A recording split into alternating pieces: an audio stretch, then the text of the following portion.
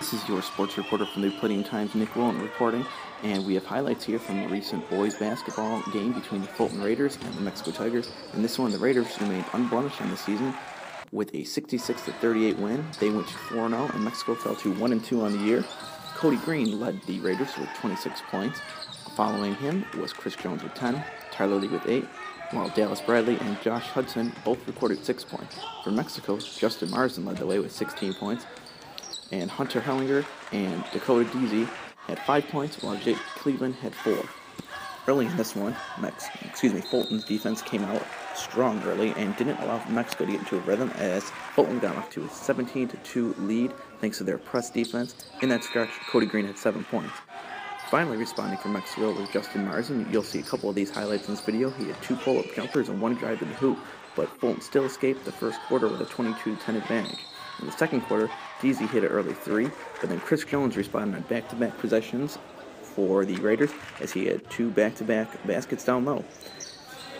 Also, just before half, Green was fouled past the three line, and he had three foul shots, and he nailed all three, giving Fulton the 36-20 edge heading into the half. Following halftime, Fulton came right out and had a strong showing as John Cummings hit a three, and then Green had eight straight points, including one three-pointer.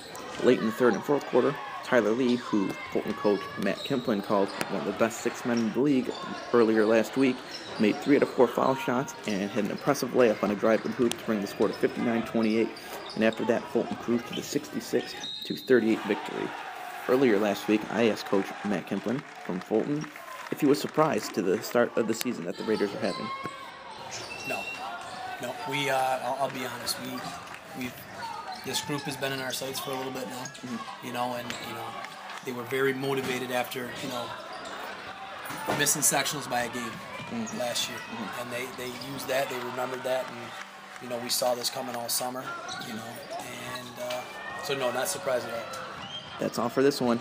Both teams are back at it again on Friday night in the road as Mexico faces Jamesville-DeWitt at 6:30 and Fulton is at Homer at 6:30.